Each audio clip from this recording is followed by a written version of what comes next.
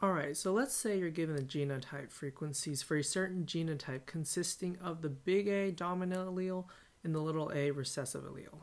And you're asked to find the allele frequency from these genotype frequencies. So we want to find the allele frequency.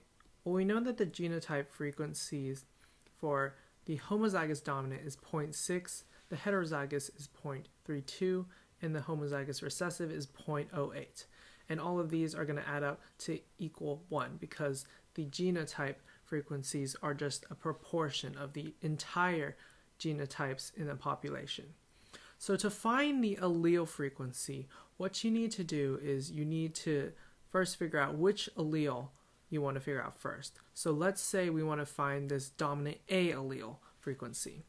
So we need to take the genotype frequency of the dominant, homozygous dominant genotype plus half of the heterozygous genotype frequency.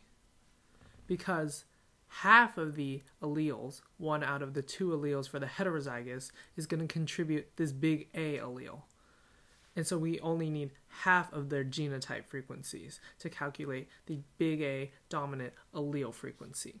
So when we're calculating the allele frequency, we take the genotype frequency 0.6 of the homozygous dominant plus half of the heterozygous genotype frequency.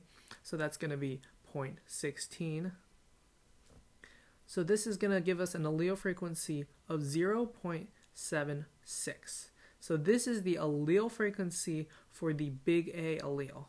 Now to calculate the allele frequency for the little a, we need to take the homozygous dom, uh, homozygous recessive genotype frequency, little a, little a, plus again half of the heterozygous because half of the alleles in the heterozygote will contribute to the little a.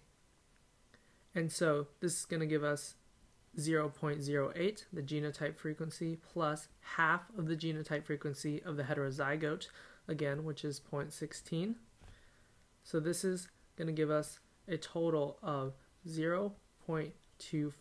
So the allele frequency for the little a allele is going to be 0.24 and then big A is 0.76 and if we add those two together we get 1 which should be correct because in Hardy-Weinberg equilibrium we know that P plus Q is going to give us 1.